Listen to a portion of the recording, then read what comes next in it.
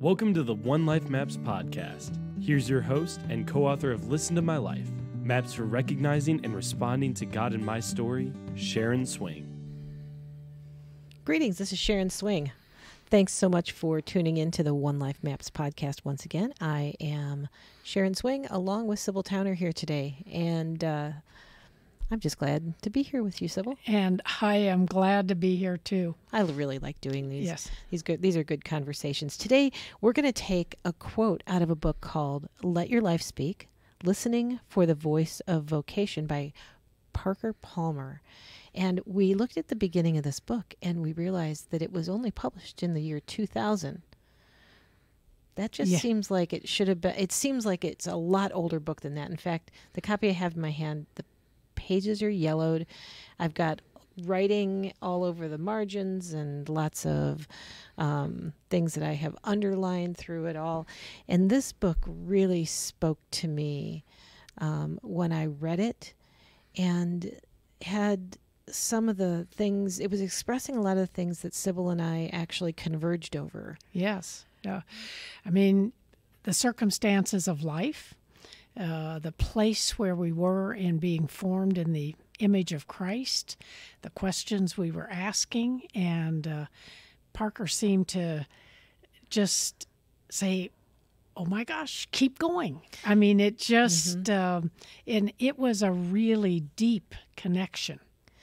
there was a he had words to describe some some things that were stirring in us already and yeah i i would say that that parker's words were instrumental in us um coming even up with the idea of listen to my life maps Yeah. for recognizing and responding to god in my story and helping people to sort out their life story sort out um, who god made them to be and what kind of adventure he might have for them in the world Yes. and um, I know for me, I had come out of completing my master's degree a few years prior to that um, in organization development. And I was a part of this incredible program at Pepperdine.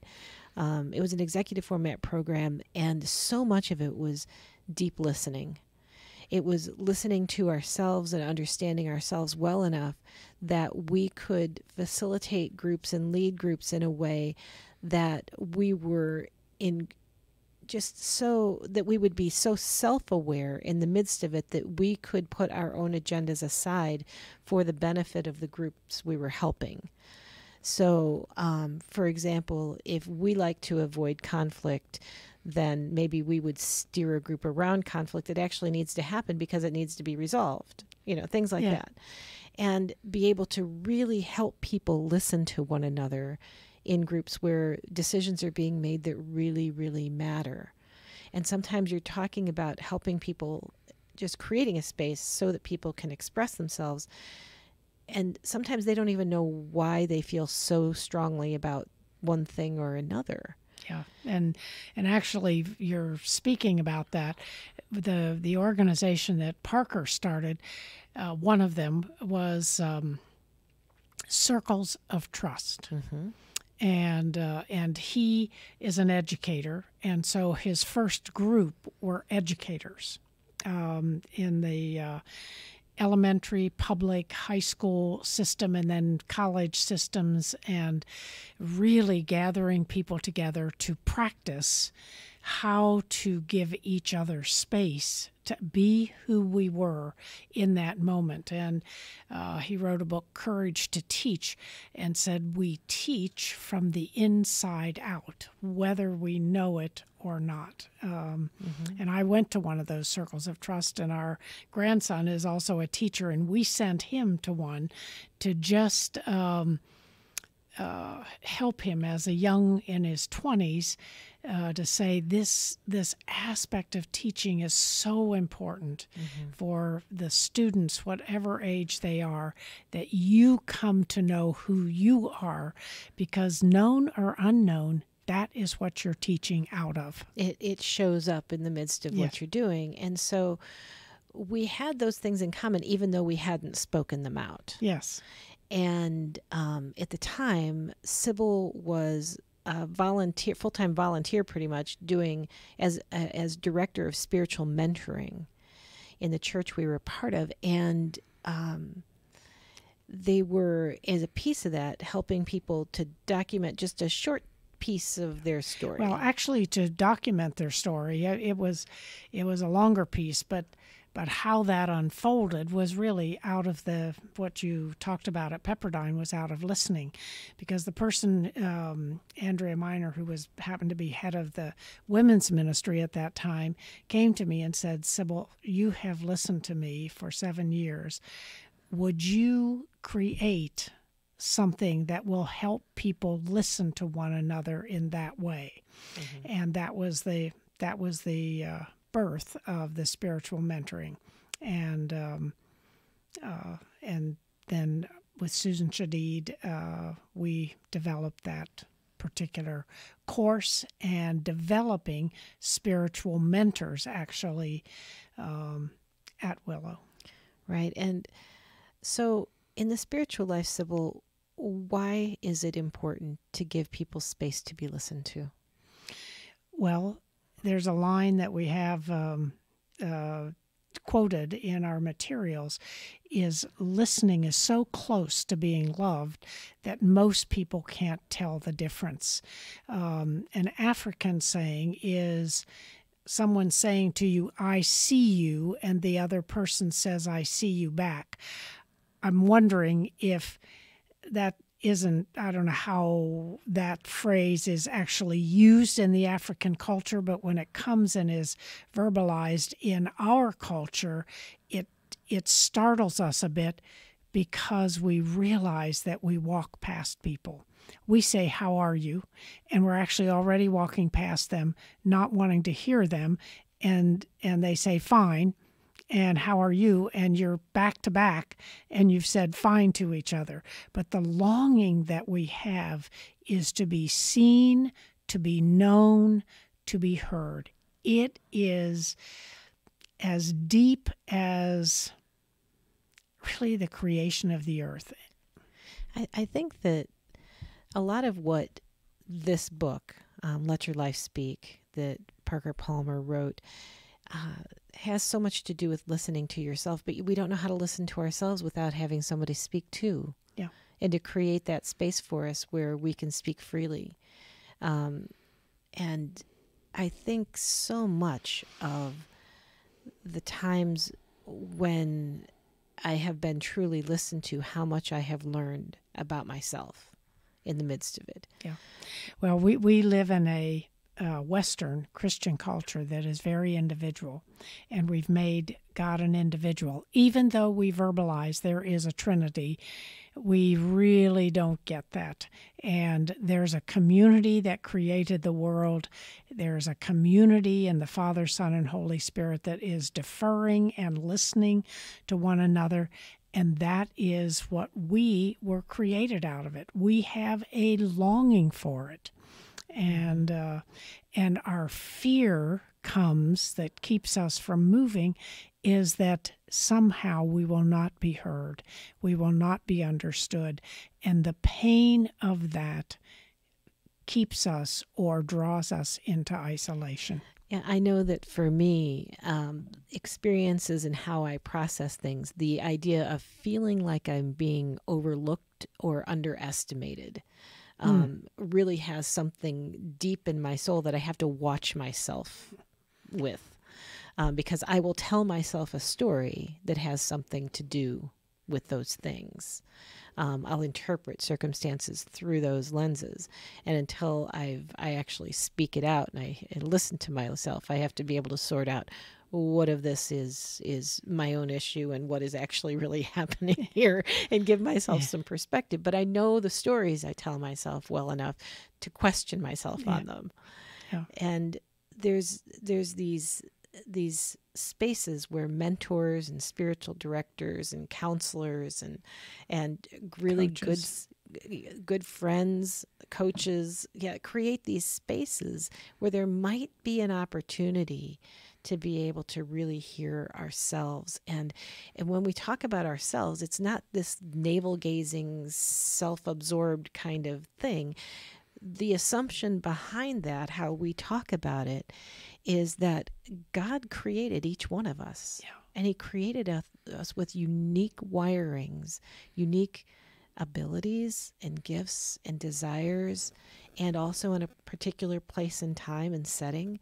And there's something that God wants to do through us as he made us to be for the benefit of others. Yes. These these are assumptions that we share. And and it's so interesting. Dan Allender um, uh, says um, uh, our faces are the most naked part of ourselves. We need each other to see each other's faces. Mm-hmm. And so um, to be able to look at someone and say, Your eyes look tired. Or as uh, God said to Cain, Why are you so downcast? Um, and it exposed actually what was going on in him, and the eyes are the window of the soul. Mm-hmm. So, a lot of people come to listen to my life. They might be asking themselves a question of um, how the word Parker would use would be vocation. Yes. And he talks about there's a Latin root for the word um, at, at the root of, of vocation, Latin for voice. And vocation does not mean a goal that I pursue, it means a calling that I hear. Before I can tell myself my before I can tell my life what I want to do with it, I must listen to my life telling me who I am. That's oh, okay. Before So- I ask you to respond to that, I'm going to read another piece of Okay. this. Um, he says, Vocation does not come from willfulness, it comes from listening.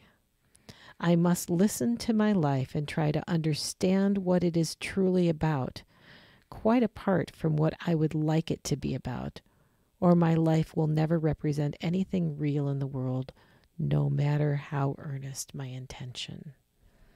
There is so much in those two statements. Yes. I'm going to hand that book back to you here. So I think the word willfulness, we usually think of that with somebody about two years old. We, we tend to talk about children. We don't tend to talk about adults as willful. We use some other words um, for uh, an adult in that regard.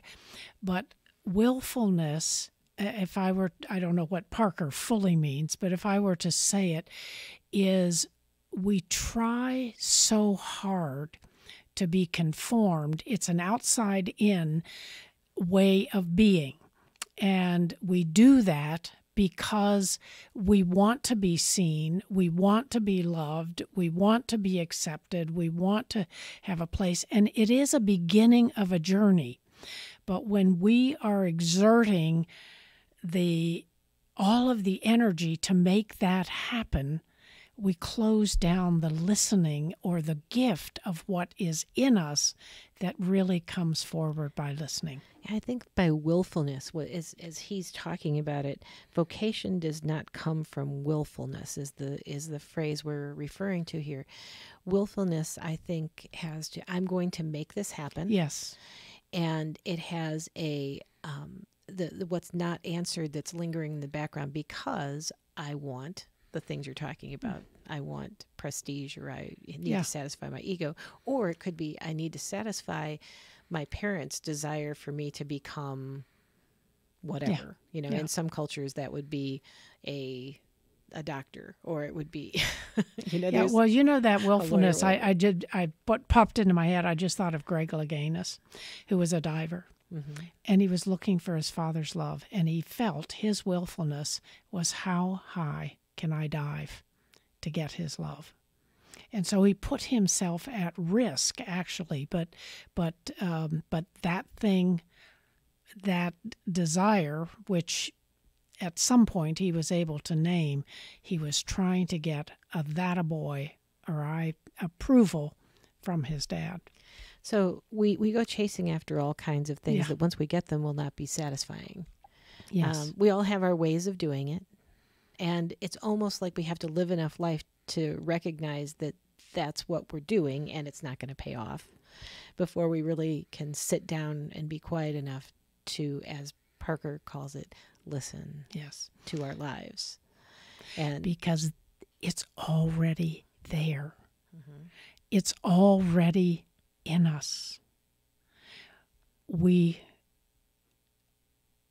we don't have to find something out there.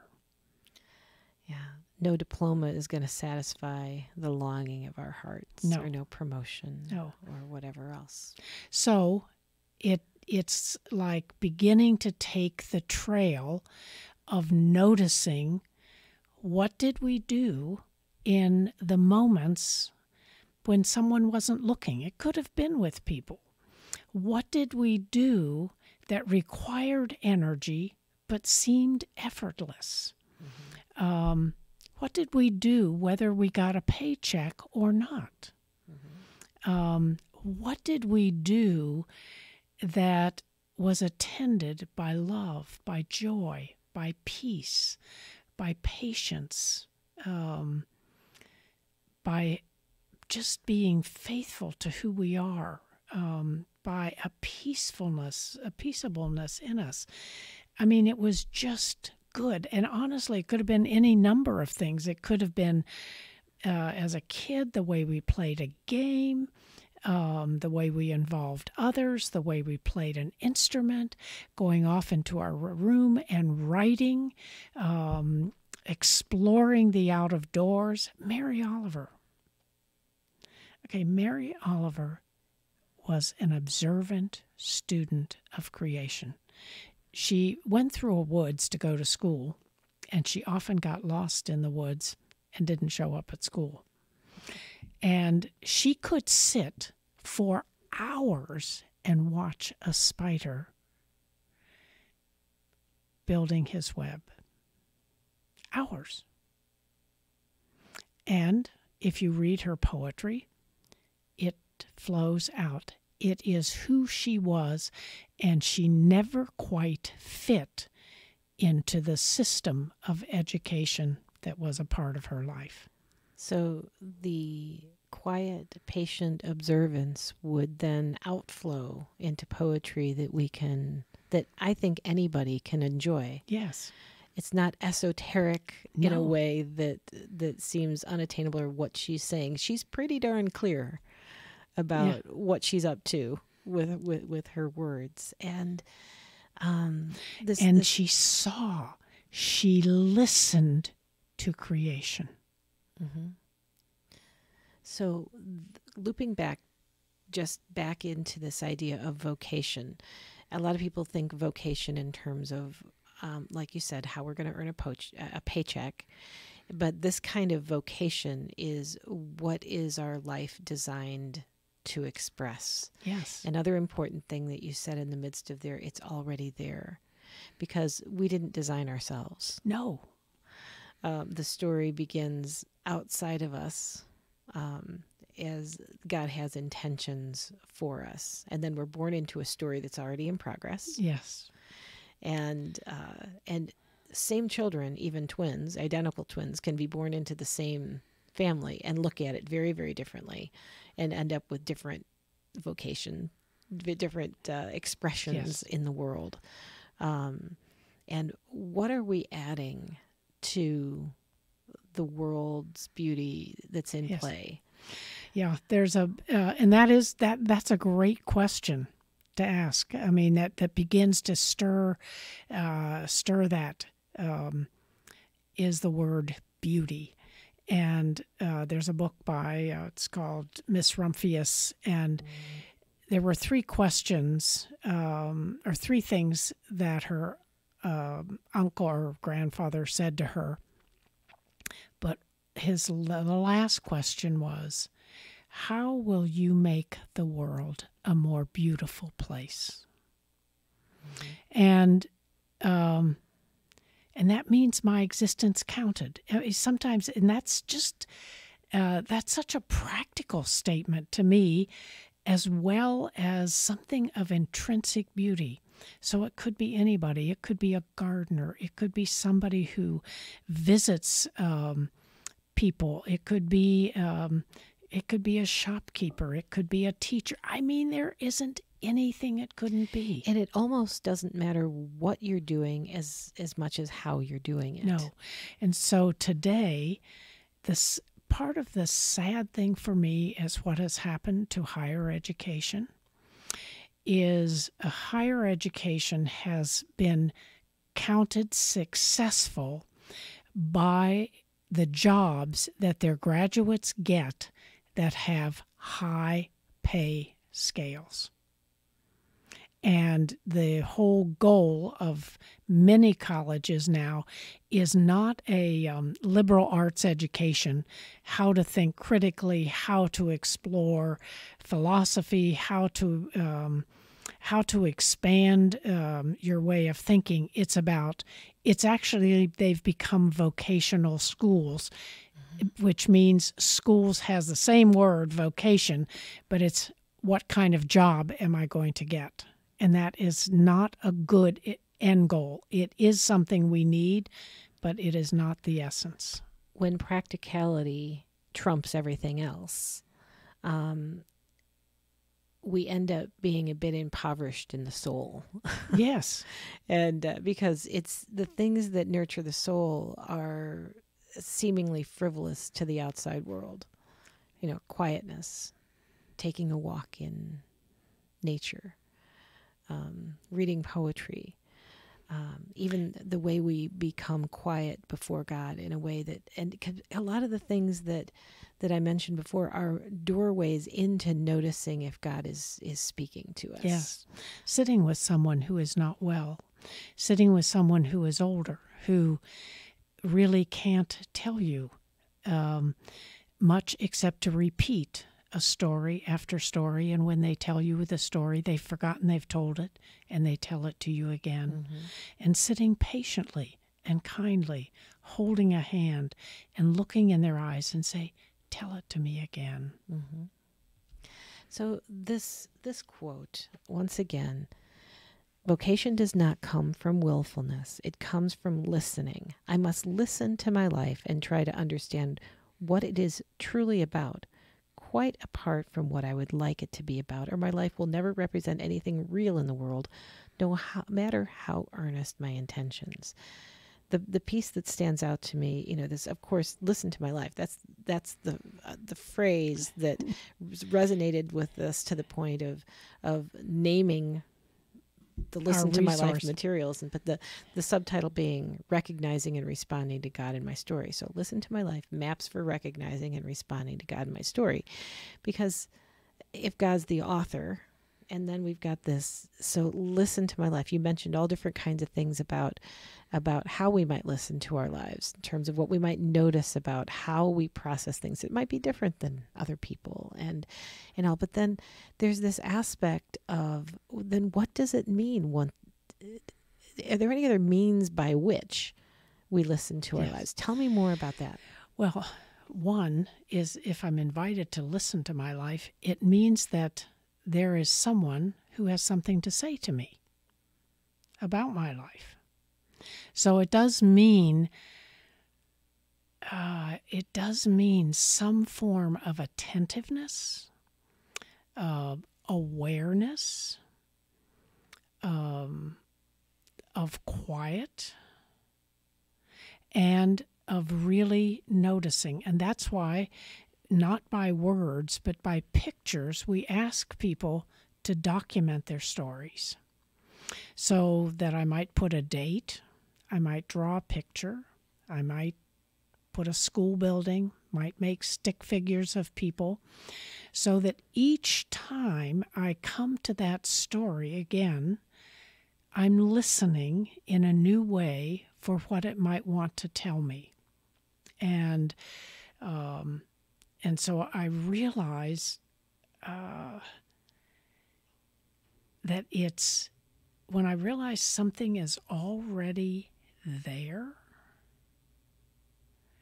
one, I stop grasping. I actually find myself settled. And I'm not finding myself in the future. I'm not finding myself in the past but I'm finding myself having come present. and it um, and it is actually the only moment in which I have any power. And so, um, that's I think what God waits for. I like to say to get a word in edgewise. Yeah, yeah, yeah. I mean, but just to get a straightforward word, first to tell us his stories Mm-hmm. and stories we may have heard, and and to bring forward a story in us that we don't know why that story has come back forward, but he is in it. And if we pay attention and travel that road, he will show us. Yeah, I. We also in the following forward map, the eighth map, um, the last map in the Listen to My Life series. Um, there's a piece of that that has a what will I take with me and what will I leave behind. And we do that same kind of exercise a lot of times at the end of our workshops, this take with leave behind. And and you can talk about that in terms of what did this workshop do in in terms of of uh, um, helping me to sort out some things.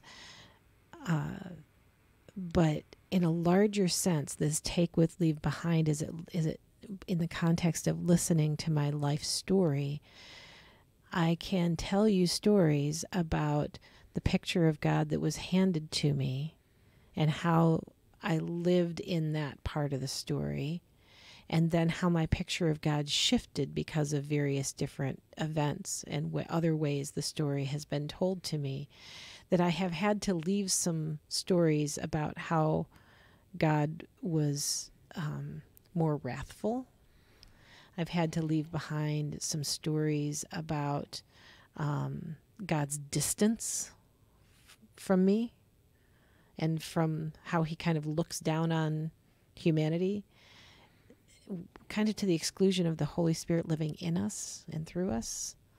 Know, and how personal that is and how present that is. And somehow it was a history lesson and now it's in present. So there's this this what am I what am I leaving behind that's no longer useful to me? Many times I, I came by those stories honestly. They were handed to me honestly by people who thought they had a picture that was accurate. And yet I'm here saying, oh, I don't I don't see it that way anymore. And what if I live into this way of seeing God? Because every experience um, you know, in, in coaching, a lot of times we'll we'll ask questions, and people bring up a like oh, you'll ask a question. Well, when did you feel this way before? What's an early experience that you remember? And they'll tell you a story, and you'll say, well, in that, as you if you if you put yourself back in that space of of from your childhood, um, what did you take from that experience of what you learned about yourself? What did you learn about who God is and how He operates, and what did you learn about how the world works? Yeah. And what out of that is still in play for you today that may or may not be an accurate picture? Yes. So you're really talking about process. Right. and and so some of us in in if we're to listen to our lives and part of listening to our lives is actually listening to the God who created us. And so is the God are we listening to the God that we perceived when we were 4 years old? or six years old or 12 years old. And so letting go of the God we have known, but you need to name, as you did, who that was, to embrace the God who is. Mm-hmm. And that is a lifelong journey. That I, I don't even know if on the other side there's an end to it. Um, so I hope there's not. yeah. So, um, so I just um, uh, feel that aspect of letting go is is so important um, because when we don't let go, we carry baggage that we were not meant to carry, and it keeps trying to inform the fresh that has come to us. And that is really a part of listening to, that is a part of listening to our story. That mm-hmm. someone gave us the best they knew, or sometimes they didn't give us the best. That, that is always a possibility. But then listening to what is the truest part. And I think a part of that is uh, is scripture. I think a large part is listening and walking the life of Jesus. Walk mm. with him, talk with him, be, really become a disciple, and then listen to your life in that context, because that certainly is what happened to Peter. It's what happened to John. Their lives were changed. Yes. And I think if we can look at every circumstance that comes our way as an opportunity to learn something and to learn something new about ourselves and how we see the world and then question it and and all I think there's a piece of this for me that if I can keep myself in that space of okay, even though I don't like the circumstances, this circumstance, for example, um, I there is something there for me to uncover, and maybe an invitation to put something down or take something new up. But God has something to say to me in the midst of whatever is. Yes. If I'm taking a breath, He has something to say. And, and, and even um, when that stops, He'll have something to say, right? Right. But, but, you know, I'm speaking from, um, you know, from this uh, particular vantage point. Um, that finding God in all things, again, we have lived in a culture in this country, in America, that has equated um, hearing God when everything is going well, and that God is absent when things are not going well.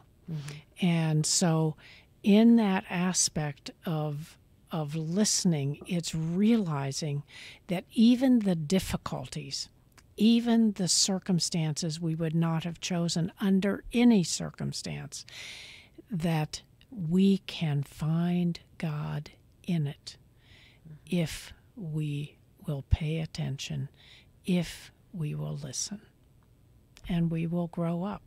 And so that is a part of our calling in life is really to find out why are we living in this time, in this place, to extend the reign of the kingdom of God to make the world a more beautiful place? I, I like to live in the call of Queen Esther. Could it be that I was born for such a time as this? Pay attention.